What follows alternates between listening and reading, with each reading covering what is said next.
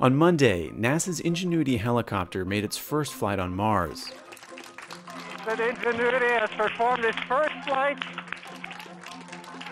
While hovering above the Martian surface, Ingenuity took this picture of its own shadow. The historic flight was the first time an aircraft has ever flown on a planet other than Earth. Applicate indicates chute deployed. We have confirmation that the lander vision system has produced a valid solution. Ingenuity was carried to Mars by NASA's Perseverance rover, Touchdown confirmed. which landed on the red planet on February 18th after a seven month, 293 million mile voyage from Earth.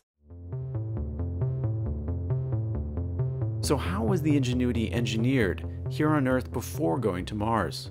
So Ingenuity was designed as a tech demo to show that aerial robotics like this are able to be used for planetary exploration.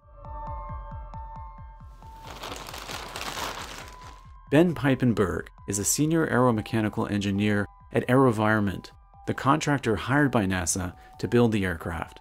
Right now we're in AeroVironment's clean room facility. I've personally spent thousands of man hours in this room. And this is the facility that we built a lot of the flight hardware that's currently on Ingenuity. It's actually on Mars. For the past seven years, Pipenberg has been working on making Ingenuity a reality. So that seven-year development process uh, involved a lot of fabrication. So taking all of the raw components, turning that into molded, molded parts. And so, for example, using these kinds of carbon fiber materials um, and molding that to develop the rotor blades on Ingenuity. Engineering something like this for an environment that we've never actually flown in before is very challenging. There have been a lot of other space probes and missions that have gone to Mars, and so we have some understanding of the environment. However, nobody's ever flown on Mars before. What we do know about the Martian environment suggests that flight as we know it would be difficult. The Martian atmosphere is much thinner than Earth's atmosphere. It's very similar to Earth at about 100,000 feet, actually. NASA and AeroVironment had the challenge of designing a craft without being able to test in the environment in which it would fly. A lot of the testing that happened on the Mars helicopter happened at JPL's Space Simulator facility. It's a very large vacuum chamber that can be filled with CO2 gas to simulate the atmosphere on Mars. You know, it, it's a really special facility. There are very few like that in the world. To make Ingenuity a reality, NASA looked to a small defense contractor, AeroVironment, that specializes in unmanned aerial vehicles.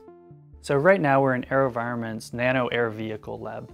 And this is a research and development space. And actually a lot of the products that have come out of AeroVironment have started in this lab. So this was one of the first helicopters that uh, we actually built and flew in the space simulator at JPL.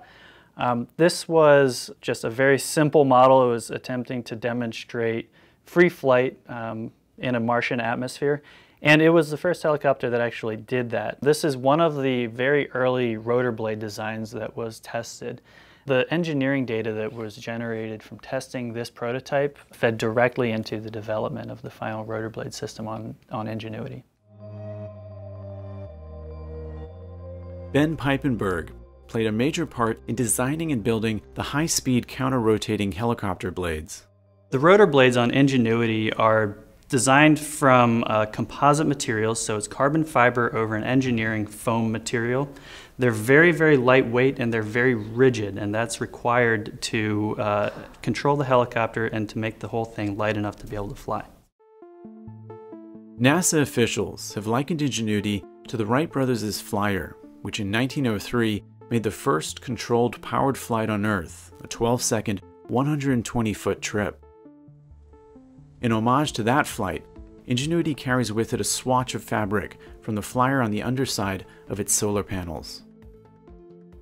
NASA says it plans to conduct up to five additional flights over the next month. These future flights will test the helicopter's ability to fly higher and longer. Meanwhile, the Perseverance rover will be nearby, observing and recording the historic flights.